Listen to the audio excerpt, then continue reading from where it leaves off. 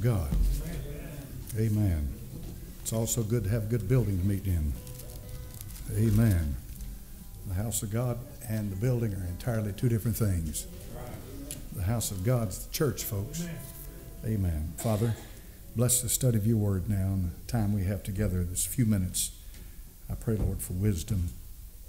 And Father, I pray that you'd write these things in our hearts. Give us that, give us that spirit of discernment, so necessary. In Jesus' name, amen. now, what I want to do this morning is uh, we've covered a lot of ground in here in the last, uh, say, six months, a year. We've covered a lot of stuff. Uh, I have a, uh, what you might say, like Reader's Digest. Uh, they are they have a uh, condensed, they condense things, and this is a condensation of uh, of uh, a lot of material that's been covered, and it's set in the perspective of one man. I'm not saying that I agree with everything that he says, but I'm saying that's going to make you think. His name is uh, Paul McGuire. How many's ever heard of him? Okay, a few of you have. Uh, he's going to tell you. He's. He, I'm going to. When I read this, you're going to see many similarities in the things that I've discussed in here in Sunday school. You're going to see many similarities. Then you're going to find this man putting this stuff together. Now, I'm going to tell you right now, I'm not necessarily that I agree with everything that's said, but as I said to you before, and I'll say again many, many, many, many, many times, debate is good. Debate is very good. It's always good to have two or three or four opposing sides, uh, perspectives, so you can compare them. And uh, there's nothing in the world wrong with that. And uh, uh, the preacher that says you have a right to be wrong, uh, he needs to uh, he needs to do some praying. Uh, that's an arrogant, one-sided attitude, as if you know I know it all, and and if you ever come up to my level, then you'll know it all too. that's a horrible position to take. So just listen to what I read for you this morning, and think on it, because I'm going to break it down, and I'm not going to try to read the whole thing in one reading. We'll go through it in sections. All right. Many people are confused, anxious, and even terrified about what is coming in America. Perhaps the greatest source of fear is not knowing what is going to happen, and people are tempted, perhaps due to mind control, to surrender to fatalism. Nimrod was the creator of the Tower of Babel, which was the center of the first one world government, one world economic system, and one world religion. Nimrod was a Rephaim and possessed the DNA of a God man. Now, he uses God man not in the sense that there are many gods. In other words, Jehovah, the God of the Hebrew, and then Shiva, the God of the, of, the, of the Hindu, and so forth and so on. No. There's one true living God. But you need to remember that the word Elohim is a plural Hebrew noun which has been translated in the Old Testament either as God, Genesis 1 1, the beginning God created the heaven and the earth, or it is translated gods in reference to the angels and so forth in the Old Testament. So he, he says it in that sense when he says God men. So uh, Nimrod's the creator of Babel. Nimrod was a Rephaim, possessed the DNA of a God man, which was produced by the interspecies breeding of fallen angels and human women, which created the race of the Nephilim. Nimrod had superhuman intelligence and access to technology and science so advanced that modern science is just beginning to discover it. Nothing that I read in that first chapter that I have a problem with whatsoever. They're finding all over this world cases where science, as we know it today, is only catching up with science as they knew it then. Bottom line is that the idea that we were all cavemen and, uh, you know, somehow or another Neanderthals uh, possessing an intelligence maybe of an IQ of about 50 or 60, and then it evolved into what we are today is a bunch of garbage. That's garbage. That's junk. That's for public consumption. During the invasion of Iraq, now listen carefully, American soldiers recaptured the ancient city of Babylon along with historical relics that may have contained ancient DNA going back to the Tower of Babel. Now, this is going to be controversial, what I read to you. Listen carefully. The American military and other major militaries around the world are aggressively interbreeding DNA to produce a transhumanist super soldier, and they may find Nephilim DNA, which would make it possible to create a race of God men. This is what Adolf Hitler and the Nazis were using genetic science for in their effort to create a blond haired and blue eyed master race. Nazi technology and science was deeply connected to legends of advanced beings who came from the stars and established a super race on the legendary island of Thule. According to the ancient Nordic religions, this race of supermen eventually established a new civilization under the earth called Hyperborea, where there was supposedly a burning black sun which generated a supernatural force called the Vril. I've talked about the Thule Society, I've talked about the Vril Society, I've talked about Operation High Jump that took place right after World War II, where Admiral uh, Richard Byrd, as you, how many were taught about Admiral Byrd in high school? Kids today don't have a clue who he is. It's such a shame because he was a real patriot and an explorer. But anyway, they went to Antarctica, Operation High Jump, after World War II, ostensibly on the surface of, to go down there and do some, uh, do some uh, uh, scientific work. But the fact is, they took a force with them, and they took a expeditionary force and the idea was they thought maybe the Nazis had built a base in the Antarctica. And a lot of people to this very day believe that Hitler escaped and went into the Antarctica, into that base, and lived out his days there, and that they had connections there with occult power and forces. Now, Admiral Byrd, in his diary, how many's ever heard of Admiral Byrd's diary? How many's never heard of it? That's the best way. All right. Admiral Richard Byrd wrote a diary. Now, this is not in this stuff I'm reading this morning. This is what I've taught you before, but it's been some time. Admiral Richard Byrd wrote a diary about his trip to Antarctica, Operation High Jump. He commanded a task force of thousands of men, many ships, and they went to Antarctica after World War II in his diary, he says that he encountered flying, uh, I don't know what this terminology you use, some flying craft that could move at enormous speeds.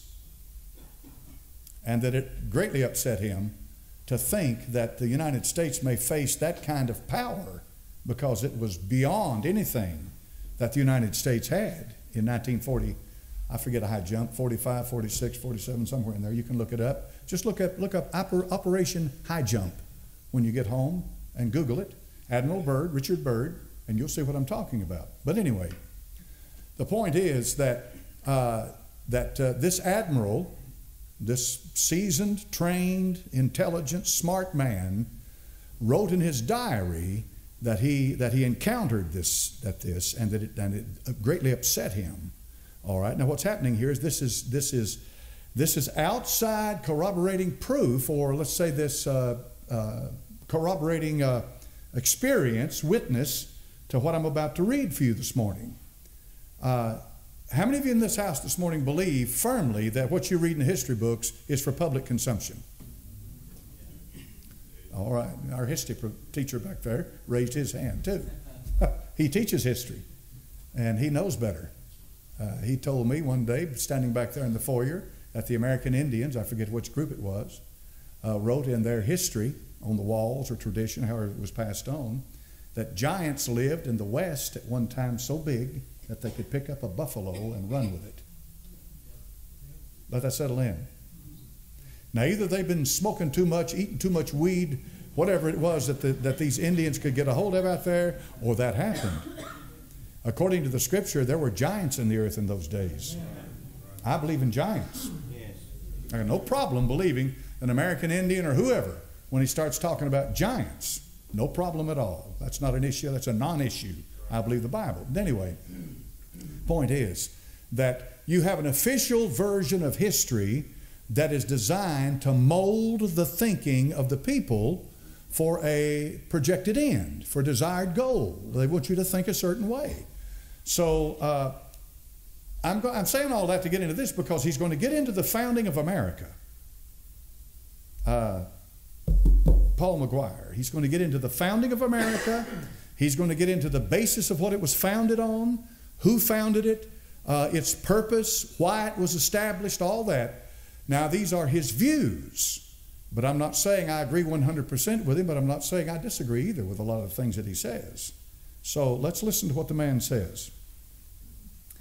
He says that, and this, of course, with Adolf Hitler in Nazi Germany, you can. There's a, multitude of material out there with uh, Thule Society, the Vril Society, the occult connection with the SS, and uh, uh, uh, the uh, and the and the and, and, and, the advanced technology that the Nazis had.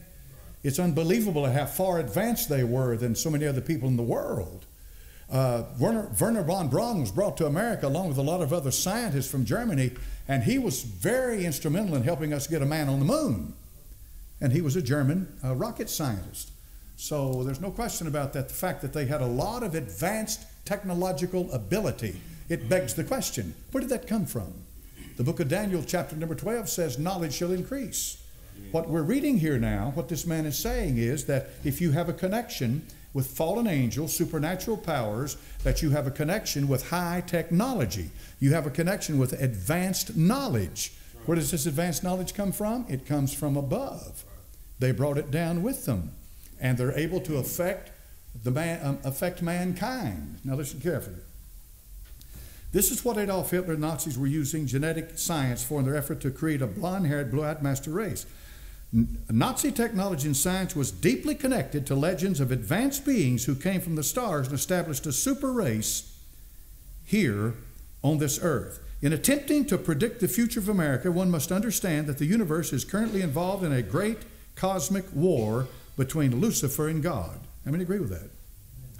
Lucifer led a rebellion against God with one third of the angels, a revolution where he intended to violently overthrow the throne of God and become God himself. Large numbers of Lucifer's fallen angels fell to the earth. Ancient legends across the world point to these fallen angels as supermen or godmen who came from the stars with advanced technology, science, and supernatural powers. It was this race of godmen who built the great monolithic monuments before the flood and established the super civilizations like Atlantis, that Plato talked about, and Thule. What is perceived as their occult powers was a combination of supernatural powers and highly advanced scientific knowledge, which of course would explain why you have these in Chile, is it Chile, Peru, the desert down there in South America, where you can only, it makes these, these, these, these uh, uh, carvings in the land and, and, and monuments lifted, these uh, rocks and formations and all of this make no sense unless you're up in the air. And you can look down upon it, and it's remarkable at, uh, at uh, Nazca. I think it's Nazca, Nazca, something like that. It's the, it's the plains down there in South America. It's either Peru or Chile. And it makes no sense unless you're up in the air. Now, folks, who was up in the air? See? You know, the Wright brothers are the ones, uh, they had balloons, of course. They used them in, in the Civil War balloons go back a long way, but as far as a powered aircraft, uh, the Wright brothers were the first ones who ever, uh, you know, that was, when was that? 19 and 2, 3, 4, somewhere in there. So, in any event, uh, this, this battle is raging, and uh, this, uh, it was the race of godmen who built the great monolithic monuments before the flood and established the super civilizations like Atlantis and Thule what is perceived as their occult power is a combination of supernatural and highly advanced scientific knowledge. Mr. McGuire says I write about this more extensively in my new book, A Prophecy of the Future of America. Now, How many of you in this house this morning feel like that this is a very relevant subject when we're talking about the future of America based on what the Supreme Court just did Friday? And the Chief Justice of the Supreme Court said, Who do we think we are? John Roberts. That's what he said. Who do we think we are? Who do we think we are? The evidence of this can be seen in the founding of America, which occurred 1776, same year as the occult society, the Illuminati, the Illuminati was founded. Here we go into the founding of America. Uh, according to Tom Horn, his book, Apollyon Rising, 2012, it may come as little surprise that then George W. Bush, in a speech before his second inaugural, said the United States had a, quote, calling from beyond the stars, unquote. The Freemasons used powerful occult symbols in the layout of Washington, D.C. Now that's fact. That's a fact which incorporated the goat of Mendes, the upside down pentagram of Baphomet, which is one of the most powerful symbols of Satanism. Also, the owl figure embedded in the architectural layout represents the Masonic Illuminati owl featured at the Bohemian Grove ceremonies, which invokes the supernatural power of the gods Athene, Minerva, Lilith, and Astarte. Under the nation's capital, there are paintings of George Washington. Now, this will be very controversial to you, and I cannot prove this one way or another. I'm simply reading what the man says. I'm not saying I agree with this, but listen to what he says. Under the nation's capital, there are paintings of George Washington playing with these pagan gods and goddesses. These Washington, D.C. symbols, along with the phallic symbol of the Washington Monument and the womb of the Capitol Dome, and we've gone into detail about that before, Go all the way back to ancient Babylon. These ancient occult symbols, along with the symbols on the Great Seal of the United States and the Illuminati symbolism on the back of the US dollar, all point to the historical truth that powerful members of the occult secret society of the Rosicrucians, such as Sir Francis Bacon, planned for the United States to become the new Atlantis and the head of the New World Order. We're talking 300 years ago almost. This is why the occult pyramid, which represents the Great Pyramid of Giza, is on the dollar bill. This occult pyramid represents the Luciferian organizational structure with the illumined ones of the Illuminati as the secret elite who rule the world. They are represented above the all seeing eye of Lucifer or the eye of Horus in a triangle. Below the all seeing eye of Lucifer is the base of the pyramid, which represent the slaves of the New World Order, which would be people like you and me. At the bottom of the pyramid, the words Novus, Novus Ordo Seclorum, these are Latin words, which means New Order of the Ages or the New World Order. That's on your dollar bill. This goes back to the legend of Atlantis, where there was supposedly a great university which taught all the highly advanced knowledge of the arts, sciences, medicine, technology, supernatural power, and mathematics. At the top of a giant Atlantean pyramid was an astronomical observatory. When Nimrod built the Tower of Babel, its purpose was to worship the host of heaven in the stars which probably involved both literally worshiping the race of God men who came from the stars and practicing the cult, the occult, and the science of astronomy. The bird on the dollar bill really represents not an eagle, but an occult phoenix.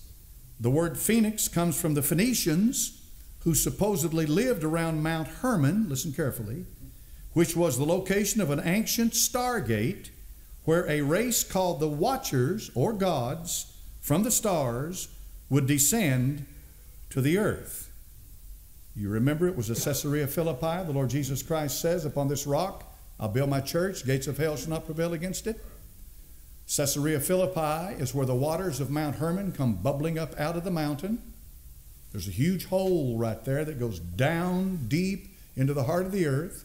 On the side of that mountain is an alcove with an image of Pan.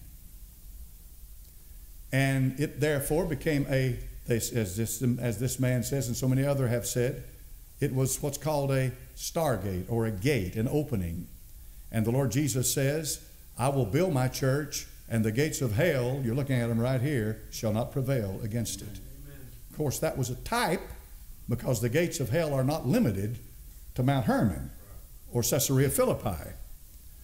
The gates of hell can be found all over this world. When Jonah was swallowed up by that huge whale, did he not say in the book of Jonah, I think it's along about chapter number two, the gates and the bars, and he went down into hell. He went down into Sheol, the Old Testament. And of course, he became a type of Christ, for he spent three days and three nights there in the whale's belly, and the Lord even made reference to him and said, as a Jonah was in the heart of the, was in was in the belly of the whale for three days, three nights, so must the Son of Man be where? And so therefore the earth has a heart to it, it has a center section to it.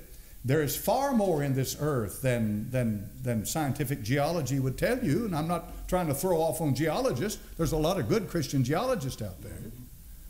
But sometimes people simplify things for their own purposes or twist them and pervert them to push their own agenda.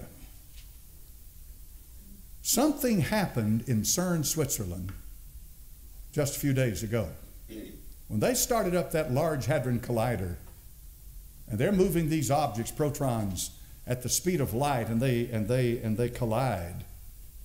And uh, Stephen Hawking warned that this could possibly destroy the universe as we know it and he's uh, one of the most brilliant men in the country. He's a theoretical physicist.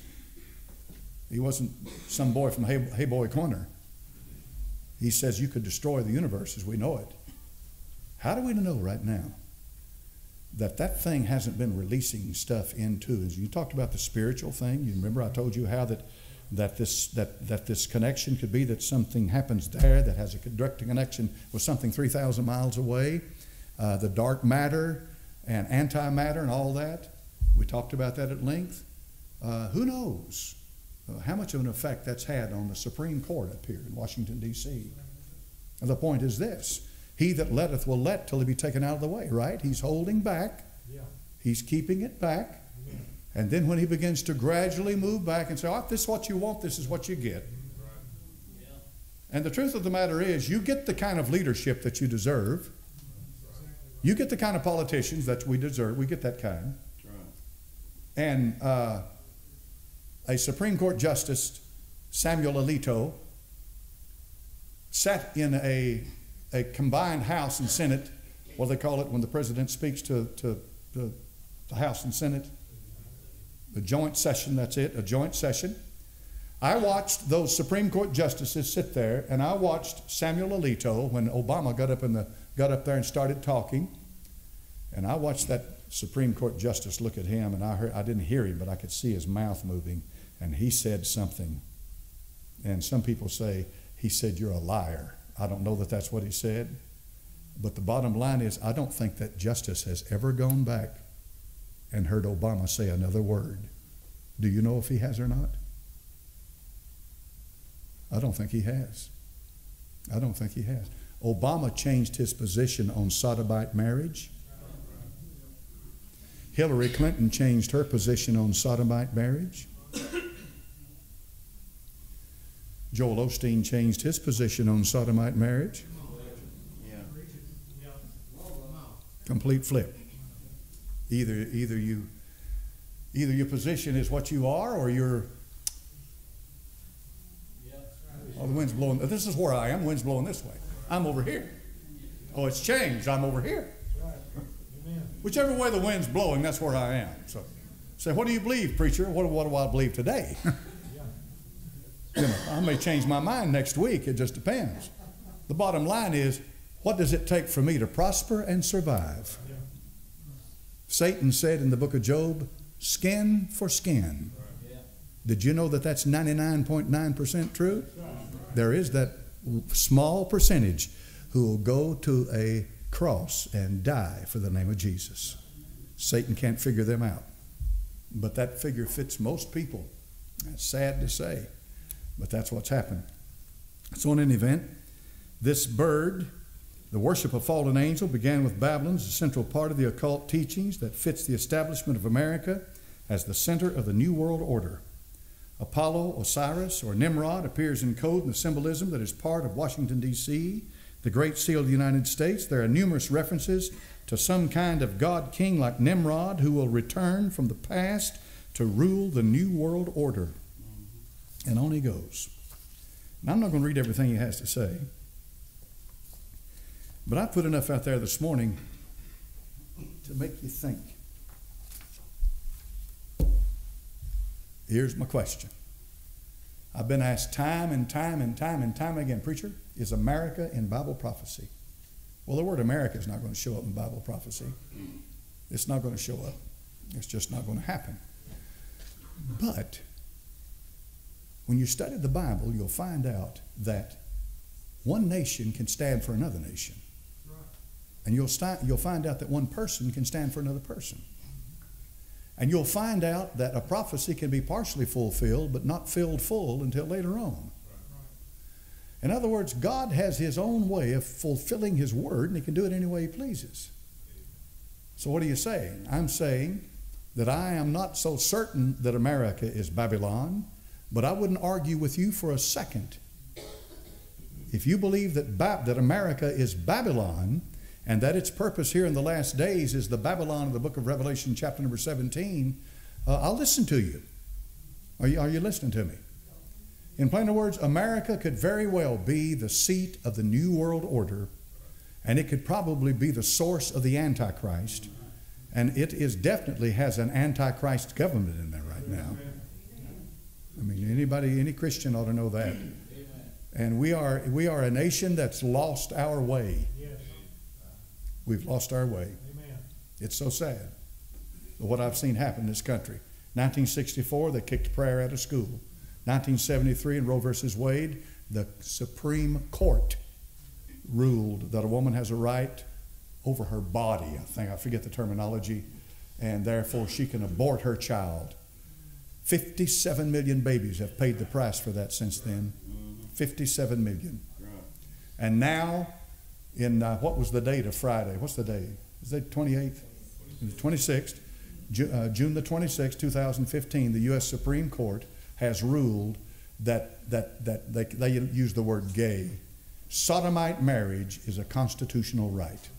It becomes a federal right, which means that no, not one of the 50 states of this union can deny uh, two people, two sodomites or lesbians if they want to get married. And so now they've ruled that's the law of the land. Now, where are we headed? I read a thing yesterday. This guy said, Well, I don't, you know, they haven't gone far enough. I believe in plural marriages. And he said, If I want to have a harem, I ought to be able to have a harem. And who are you to tell me how to, what, a, what a marriage is and, and what a family's about? If, if two, if two uh, homos or gays can have a family and have a home, then why can't I? Why can't he? John Roberts says that if you if you if you believe in sodomite marriage, I don't forget the term he used, gay marriage, he said you can rejoice or you can you can be happy about this. And then he went on about this, that, this, that. Then he finally said this. John Roberts said this. But be certain of this one thing, that none of this is based on the Constitution of the United States. I'm glad he said that. He's the Chief Justice of the Supreme Court. He said, Be certain of this, none of it. David Breyer, Anthony Kennedy, uh, Elena Kagan, uh, what's her Sotomayor? I don't remember her first name, and then uh, and then uh, uh, the, the the progressive liberal Jew. What's her name? Ruth Bader Ginsburg. All right, these are the five right here. These are the five that voted to destroy the home and marriage as you understand it.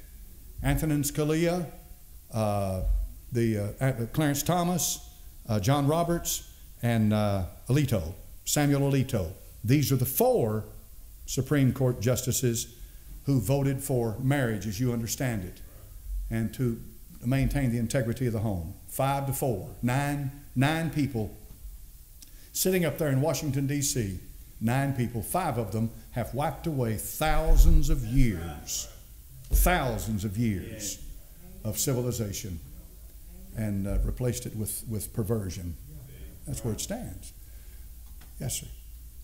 Justice Alito, in the uh, Hobby Lobby case, his comments on that, he, he pointed out to uh, the Supreme Court that Jesus Christ is the one who came up with separation of church and state. When he said, give Caesar what is Yes, he did, brother. Give God was God. So Alito's come out a few times and has spoken in side of God, uh, and the other ones have not. Even John Roberts supported the, uh, Obamacare. I know he did. He supported that the other day. But Alito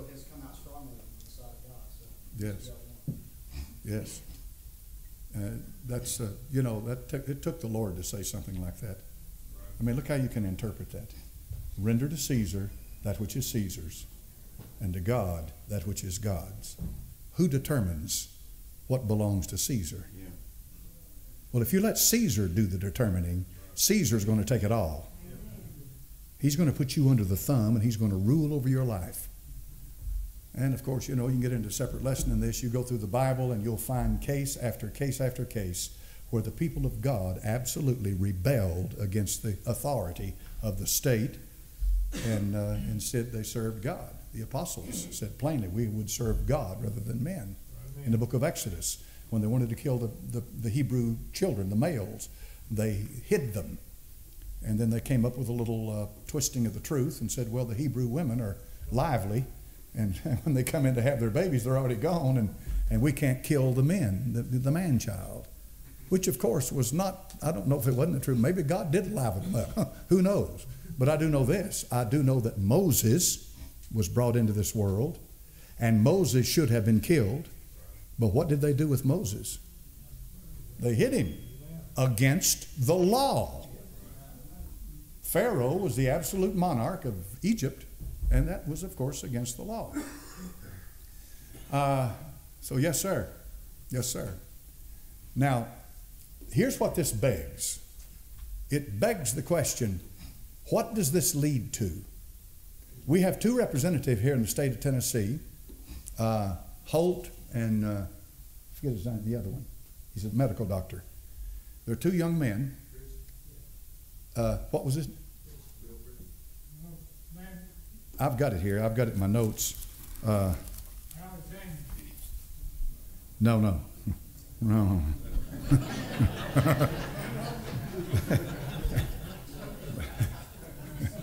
Bryan Terry and Andy Holt.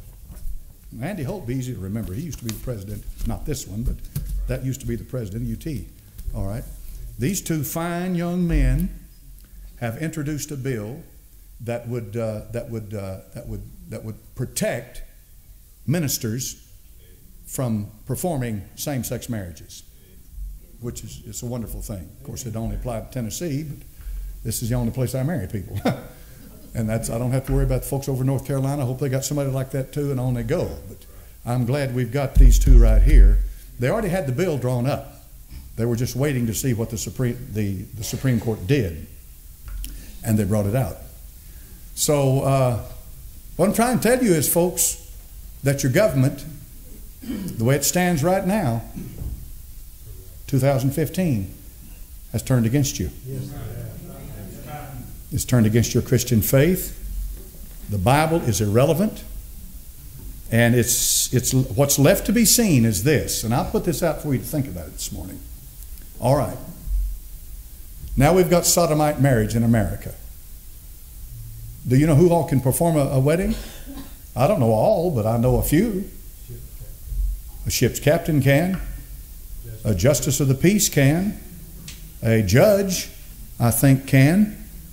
A uh, uh, you know other people you know they can be married. Of course, the chapels they'll marry anything. They'll marry two dogs. I'm serious. Wedding chapels. That's not a church, folks. I'm not saying all of them are like that, but you know, many of them. It's about dollar bill. All right. Here's the point. If two uh, gay people want to get married, then there's ample opportunity for them to get married, right? Okay? Therefore, if they come into the church of God and come up to a minister of Christ and try to force him to perform a same sex marriage, what's going on?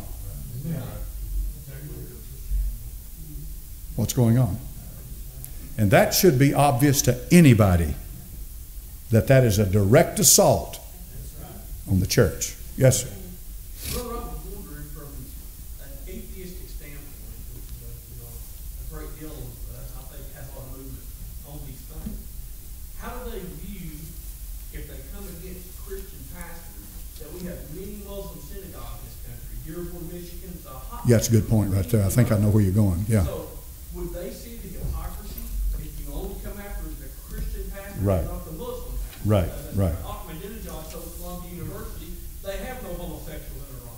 Well, they do, but they don't, I mean, he lives in La La Land. They just threw two more off of a building over here.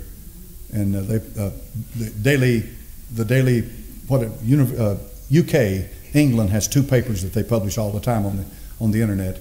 And they showed the photographs of them coming off of the building and, and three or four thousand people standing down at the bottom. And they were homosexuals and they threw them off of the building. This just happened two or three days ago. Under Sharia law, homosexuality is punishable by death. All right, but here, I thought your point was would be this: uh, if if two gay people are going to come to a Christian pastor to marry them, why should they not go to a Muslim, whatever they call them, imam, and for for a wedding, right? Right? Would the Muslim imam marry him? yes, sir. Over there in uh, England and France, they have these uh, no-go cities. Oh yeah, the area over there, yes. Come out there and kidnap children, little boys and girls, and use them for sex slaves. And not even the uh, British government will go into these cities to get them out. And they've been in there for, for some, some of them have been there for years. Well, our government is looking at passing a law to allow pedophilia in this country at a certain age to accommodate the Sharia law that they're trying to get passed in some cities. Well, see, the floodgate opens, and when the floodgate opens, you can't control everything that comes through it. And this is what's happening, and it's coming. It's coming. Just like plural marriages and all the rest, the harems and the rest of it, that's coming. I mean, the, the Mormons have had a time with this anyway out there, and uh, they still. Uh, this fellow Jeffers that they just locked up a couple of years ago, uh, he had uh, he had a harem. He had girls 12, 13, 14 years old, and uh, a bunch of them. And uh, what they're doing, of course, they'll tell you, well, we we're we are practicing the pure Mormon religion of uh, Brigham Young. Brigham Young had 53 wives, I think, last time I checked, or maybe somewhere around in there. Yeah, they didn't tell me that in high school. What they taught me in high school was that Brigham Young led these people all the way from Palmyra, New York, out west. They got Salt Lake City, Utah.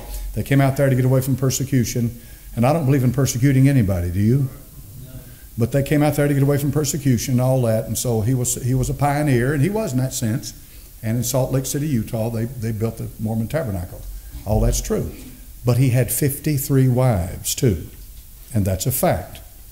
Uh, and maybe the figure, I might be off on that figure, but it's in the 50s. That is a fact. And not only him, but the leadership of the Mormon church, and has for years. According to the uh, the Mormons, in order for you to be elevated into heaven, you have to have more wives and more children, and then anybody else in order to elevate yourself to the higher echelons in heaven. But anyway, of course, you know, this is plural marriages we're talking about, and uh, this is only one of the aspects of it, and it's coming. Now, here's another aspect you need to think about, and that is that the federal government has a has a profound control over the education of America. And one of the greatest things that could ever happen to this country, it would be wonderful if it could ever happen to this nation, is to get the education of children out of the hands of the federal government and put it into the hands of the state and even in even in the local area, uh, education to educate the children, uh, because you, as you see right now, the federal government is corrupt to the core, and that reminds me, Common Core is another problem that's coming along right now. It's moving apace, and this thing's part of the one world government. But you know, I mean, there's so many hot issues going on right now. You can't cover all of them. But the thing that's on the on the on the front burner right now is what are they going to teach your children now? Are they going to bring in sodomites and they're going to, are they going to come in there and give them demonstrations? Are they going to, what are they going to do? What kind of literature are they going to allow into the classroom? Because it is federal law now. And that's the problem. Yes, sir. I would read this thing, uh, on the twenty-six years uh, after that passed, and, and it was kinda late at night, and, uh, it, um, it was saying that since they passed that law, that, uh, uh, uh, some, someone, somebody is also trying to Yeah, that's plural marriages, yeah. Yeah, we're talking about that, yes. And there, well, of course, why not? I mean, if you can, if you, if two homosexuals can marry, why can't I have four or five wives? This guy says. I'm kind of getting tired of seeing men kissing. Oh, I get real tired of that real fast. But the, you can't. What can you do about that? Now, here's here's here's another aspect of what you just said. If you legitimize, if you legitimize homosexual marriages, that means you have legitimized homosexuality. Right? I mean, really? All right. If you have legitimized homosexuality, that means that it is. It, there should be no reason why you can't. Uh, uh, uh, what's a good word for it? Uh, you know, show your affection in, in public. I'm sure there's a limit as to how far you can go, but uh, I mean, since it's legitimized, it's it's federal law now. It's the law of the land. They like to say. There's a lot of laws of the land that they don't have any that they don't pay any attention to. It's the law of the land if it if it, it fits their agenda. You understand how the law of the land works. but in any event, since it's legitimized, then there's no, nothing in the world wrong. If, like, for example, if, if two homosexuals come to temple, the doors are open, we don't ask anybody when they come through that back door what their quote, quote sexual orientation is. I don't like that terminology, but for people that are politically correct, you know, would, you nobody standing back there say, Are you homo? You're, you're not allowed in here. No, just the opposite. We want them to come. Why? Because the gospel of Christ can save anybody. No, that's not an issue. That is a non issue. If a, if a truckload of them pulls up out there in the parking lot and say, We're going to come to your service, you're going to stop us? No, sir. You come right in here, you sit right down, you're welcome. Come right on in. And then I'll open the book and start preaching the gospel. I don't know what message I might have had, but I know what I'd be preaching. God can change your mind in a hurry. Preach something relevant for the hour. yes, sir. Preacher Lawson, don't you feel like that some of them are gonna try to come into churches to get married just to see what, if the preacher. Absolutely. That's what we were talking about a few minutes ago. That's, that's why I said, as far as homosexuals are concerned today, they have many places they can go to to be married. All right? Many. I'm sure the federal government will set up all kinds of booths up and down the road, make sure that they're going to be able to get married. It's if they come into the church house and try to force a Christian pastor to do it, then there's a motive, agenda involved in that. See? Yeah. I seen an article out, uh, a couple of days ago, the, uh, you know, Unitarian Universalist Church out on Kingston Pike. Yeah. They've done it said, come on, Well, sure. Well, I'm going to say too, I'm going to say for anybody to hear it, homosexuals, lesbians are welcome at Temple Baptist Church. But they're not welcome to come in here and handle on each other. You know, you got to be careful what kind of wording you use in here. They're going to have to behave themselves when they come into this house, but they are welcome to come in here and sit. I believe the gospel of Christ is more powerful than that spirit they can bring in here. I've seen it happen time and time again. Yes, sir. They're welcome. So therefore, they can't throw that at your face to say, well, we're not welcome. You are welcome. They're welcome. They're just not welcome to come in here and practice anything. They're not welcome to come in here and make a spectacle. They're not welcome to come in here and to try to, to try to take the service over, you know, or something like that. If it ever happened where they jumped up and started shouting and screaming and something like that to take the service over, I'd say, folks, let's stand up, sing Amazing Grace, how sweet the sound. See you next week. And walk out the door. And if they want to stand in here by themselves and scream and shout, we'll call 911 and say, We got some crazy people over here. We've done let the church service out, and here they're standing in here screaming and shouting. That's the way to handle that bunch. Don't argue with them. You can't do that. Yes, sir. Uh, you remember, Brother Lawson, they tried this with Bill Romine a few years back. Yes, they did. Brother Romines was a good man, too. Yeah, he preached one of their funerals. He did. He passed away. Did he? Yeah, Brother Romines was a good man. I knew him for a long time. Bill Romines was a good man. Well, I'm saying this is the new America, and this is what you know you might you might expect. And so the way to handle that is simple. They're welcome. Show them love and Christian compassion, and that's what you need to do. Show them love and Christian compassion, but they are not going to come in here and take over the service. Stand up, sing Amazing Grace, shake hands with each other. See you next Sunday. Walk out the back door. And they'll know, they got the message, they'll get the message. They'll get the message. And walk out the back door, and when you get to the back door, say, men, now go ahead and lock the doors. Turn the alarm on. and then if anybody moves in here, the police will come. Amen. There's a way to handle that. Yes, sir. Uh, the thing for America with me is the part that Jesus has spoken that they that do evil shall hate the light. The light being Jesus Christ is that this can be a signal for something that is against all the doctrine. And we see say that they don't want darkness. They don't want holiness that God, but without you shall not see the Lord Jesus Christ the part of the new creation in Christ Jesus.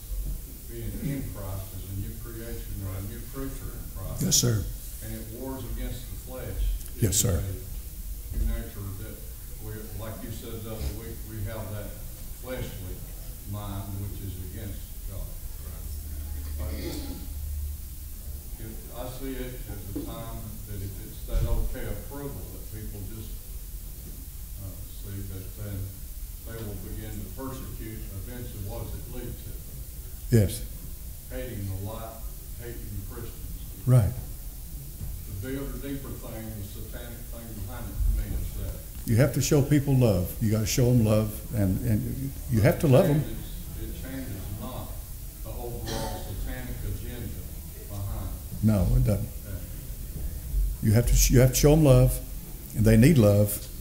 They need to know that Christ died for them. He, he died for everybody.